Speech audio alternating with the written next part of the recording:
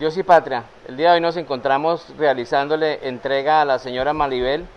de unos elementos que habían sido hurtados mediante modalidad de rompimiento de vidrio, mientras la señora se encontraba realizando unas compras en un establecimiento comercial del sector de la calle 50 con 16, delincuentes descienden de este vehículo y le rompen el vidrio de su camioneta, sustrayendo este bolso con varios elementos personales. Es así como la Policía Nacional es alertada y gracias al plan candado y algunas fotos y videos de cámaras de seguridad se logra interceptar este vehículo a la altura del romboy de fertilizantes,